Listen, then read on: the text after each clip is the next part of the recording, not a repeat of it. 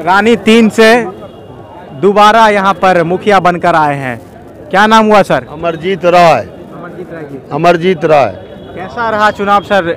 इस बार बदलाव का चुनाव था तो कैसा लगा जनता ने सपोर्ट क्योंकि हमने ईमानदारी पूर्वक पाँच साल गरीब गुरबा जनता का सेवा किया आँसू पोछने का काम किया पंचायत के अंदर अमन चैन शांति स्थापित किया भ्रष्टाचार मुक्त पंचायत बनाया और नहीं कहना चाहिए हमें पाँच साल पिछले कार्यकाल में बेगूसराय जिला का इकलौता मुखिया हम हैं जि, जिसको बेगूसराय जिला का तीन डीएम नौसाद यूसुफ राहुल कुमार और अरविंद कुमार वर्मा और बिहार सरकार के प्रधान सचिव अमृत लाल जी से सम्मानित होने का मौका हमको मिला। जनता के प्यार और स्नेह के बदौलत। कौन छाप था सर? माला छाप।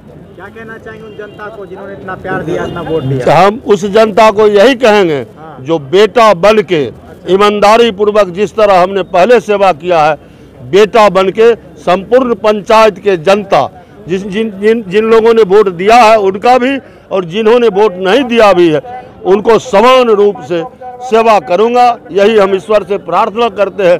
ईश्वर हमें स्वस्थ रखे और हम जब स्वस्थ रहेंगे तो ईमानदारी पूर्वक भ्रष्टाचार मुक्त पंचायत, अपराध मुक्त पंचायत बनाएँगे।